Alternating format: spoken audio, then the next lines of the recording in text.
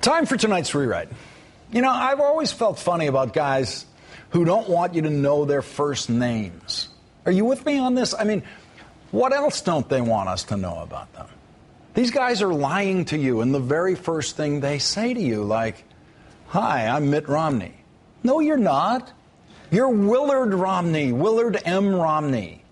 And then there's, Hi, I'm Rick Perry, and I'd like your vote for President of the United States. Well, yeah, I know you'd like my vote, but how about telling me your real name, which is actually James Richard Perry? That's right. The two frontrunners for the Republican nomination for president have rewritten their first names. Now, I, I, think I know, I think you know what Willard Romney doesn't like about his first name, but I've got no idea what James or Jim Perry doesn't like about his first name. I would love to have Jim as a first name. So simple, no confusion, anyone can spell it. That's, that's actually why I've been using Jim as my Starbucks name for years now.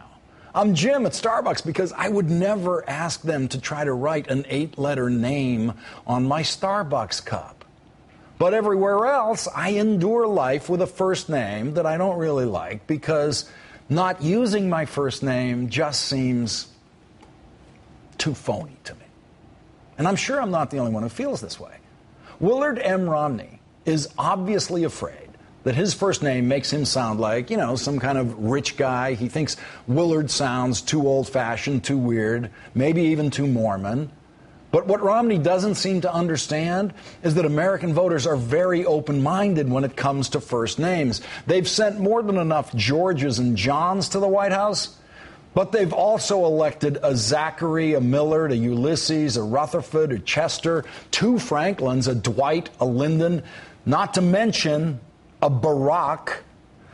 So Willard should relax about his real first name. Unusual first names have never hurt anyone running for president. In fact, the three presidents who didn't use their first names went with middle names that were more unusual than their first names. Stephen Cleveland used his middle name Grover. Tom Wilson ran with his middle name Woodrow. And John Coolidge ran and won as Calvin Coolidge. So Willard Romney actually has a better chance of winning the presidency if he goes with his real first name instead of trying to hide it like a con man or a cult leader. You know, like L. Ron Hubbard, whose real first name, of course, was Lafayette.